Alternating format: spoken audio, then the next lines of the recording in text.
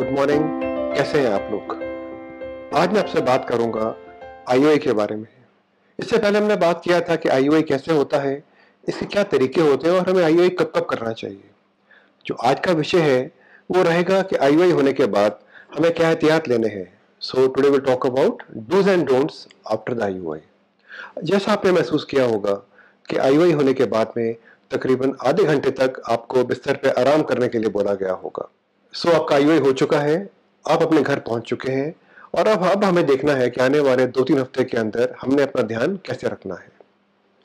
आई एक बहुत ही छोटी सी प्रणाली है इसके थ्रू हमें बहुत अच्छे सक्सेस रेट्स मिलते हैं।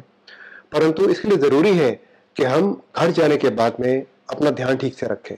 जो आपके जहन में जो कॉमन सवाल उठते हैं वो ये होते हैं कि डॉक्टर साहब मेरा आई तो हो गया अभी मेरा घर आठवें माले के ऊपर है या छठे माले के ऊपर है मेरे घर के अंदर लिफ्ट नहीं है। मैंने सुना है कि हमारे पास घर के अंदर एक अंग्रेज़ी अंग्रेज़ी टॉयलेट होना चाहिए, वो मेरे घर में नहीं है। हमने सुना है कि हमने घर में जाकर कुछ काम नहीं करना है, पर मैं तो काम करती हूँ। मेरे घर में मेरा ध्यान रखने के लिए कोई भी नहीं है। मुझे खाना भी बनाना है, मुझे बर्तन भी करने हैं और मुझे घर के छोटे मोटे काम भी करने हैं। तो क्या मेरा आई वाई सक्सेस होगा? तो आज हम इन्हीं विषयों के बारे में बात करेंगे और हम जानेंगे कि एक अच्छे रिज़ल्ट के लिए हमें क्या क्या करना है। तो मैं आपको बताना चाहूँगा कि आप घर जाकर घर के छोटे मोटे काम कर सकती हैं। जो भी आपकी रोज की दिनचर्या है वो आप पूरी करें। अगर आप वॉक करने जाती हैं अगर आप कुछ घूमने के लिए जाती हैं या घर में कोई छोटा मोटा प्राणायाम करती हैं या, या या फिर आप योग करती हैं तो आप कर सकती हैं। अगर आप वर्किंग लेडी हैं तो आप अपने काम पर भी जा सकती हैं। इसके अंदर आईओआई का कुछ भी नेगेटिव रिज़ल्ट नहीं आता है। दूसरा इंपॉर्टेंट बात यह रहती है कि घर जाने के बाद में आप अपने पति के साथ में संबंध ज़रूर रखें। अगले दो या तीन दिन के लिए इसमें आपके जो रिज़ल्ट होते हैं, वो बेहतर आते हैं। डॉक्टर साहब, खाने में मैं क्या खाऊं? मेरी सासू माँ ने या मेरे पड़ोसन ने मेरे को बताया है कि मेरे को सिर्फ़ दलिया खाना है, घिया खाना है, टिंडे खाने हैं या ठंडा खाना खाना है। तो मैं आपको बताना चाहूँगा कि ये धारणाएँ बिल्कुल गलत हैं।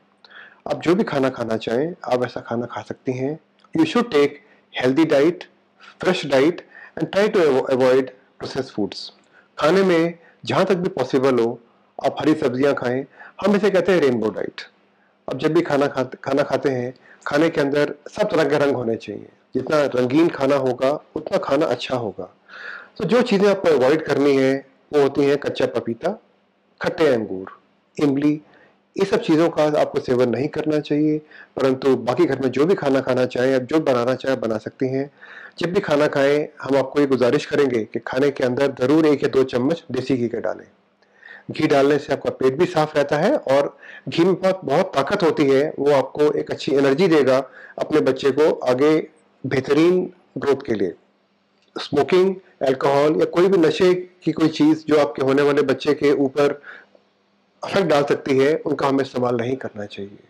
चाय, कॉफ़ी कम से कम लेनी चाहिए और तला हुआ खाना, बहुत खट्टा खाना, जैसे चाट, पापड़ी, जिसमें बहुत इमली होती है, हमें वैसा खाना नहीं खाना चाहिए। और हमें क्या करना चाहिए? याद रखें कि आपका आई हुआ है। ये चाहे एक छोटी सी टेक्निक है, परंतु इसके अच्छे रिज़ल्ट के लिए आपको रात को आठ घंटे और दिन को दो घंटे आराम करना है और अपने शरीर को पूरा आराम देना है। जहाँ तक भी हो सके आपको बहुत सारी सीढ़ियाँ नहीं चढ़नी है। एक दो माला तक ठीक है, परंतु उसके बाद आपको ऐसा नहीं करना है कि आप दिन में दो या तीन बार ऊपर नीचे हो। अगर आप एक बार घर में सीढ़ी है और ऊपर जाती है तो आपको ऊपर जाकर आराम करना है और बार बार ऊपर नीचे नहीं होना है। बहुत लंबे टाइम तक आपको ट्रेवल नहीं करना चाहिए। अगर आपका जो जर्नी है दिन में तीन या चार घंटे से ऊपर का है, कहीं भी ट्रेवल करने का, काम की जगह जाने का तो आपको वो अवॉइड करना चाहिए। आपको अवॉइड करना है ऐसे लोगों को जो आपको नेगेटिव इनपुट्स देते हैं, आपको अवॉइड करना है ऐसे साथियों को, सगे संबंधियों को, जो आपके दिल को चोट पहुंचाते हैं या जो आपको नेगेटिविटी देते हैं।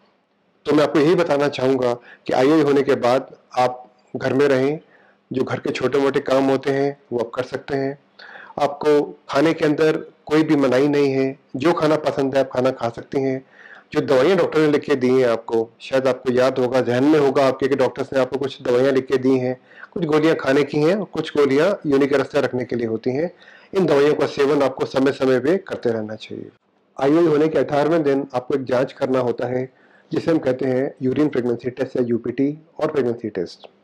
ये जाँच आप भर में कर सकती हैं और सत्रहवें, अठारहवें दिन in the morning you can test your urine and in case you get two lines, it means that it is positive जब आप अपना जाँच करेंगी, अगर जाँच करने के बाद किट के अंदर दो लाइन आती हैं तो एक पॉजिटिव रिपोर्ट होती है और एक लाइन होने पे नेगेटिव रिपोर्ट होती है। अगर दो लाइन आती हैं तो बहुत ही अच्छा है। This is a very positive sign but in case you get one single line don't worry you must visit your gynaecologist you must come to us and we carry out your ultrasound कई बार kit के अंदर एक line आती है, परंतु pregnancy positive होती है। सो आप अठारहवें दिन अपना यूपीटी का जाँच करेंगी और उन्नीसवें दिन आपको हॉस्पिटल में आना होता है अपना जाँच कराने के लिए। और जब आप हमारे पास में आती हैं then we carry out your ultrasound that is called transvaginal sonography and we try to locate your pregnancy so जो भी हमने बात किया, इसका निष्कर्ष एक ही है कि आपको हैप्पी रहना है, आपको खुश रहना है, आपको अवॉइड करना है उन लोगों से मिलना जो कि शारीरिक या मानसिक रूप से बीमार है। जो भी इंसान आपको एक नेगेटिव इनपुट देता है चाहे वो टीवी ही क्यों ना हो, आपको उसको अवॉइड करना है। आपको you have to maintain good health and happiness और मुझे पूरा भरोसा है, जो बातें आज मैंने आपको बताई, अगर आप इन्हें फॉलो करेंगे I am very very sure you will come back with good news to us thank you very much for coming to our YouTube channel आज बहुत अच्छा लगा आप सबसे बात करके। और मैं आशा करता हूँ कि हम जल्दी ही दोबारा मिलेंगे और हम किसी और इशू के ऊपर बात करेंगे। इस बीच अगर आप हमसे कोई बात करना चाहते हैं या मिलना चाहते हैं you can always call us you can always contact us we are available on email Facebook LinkedIn Instagram thank you so much अपना ध्यान रखें और हम जल्दी दोबारा मिलेंगे. Thank you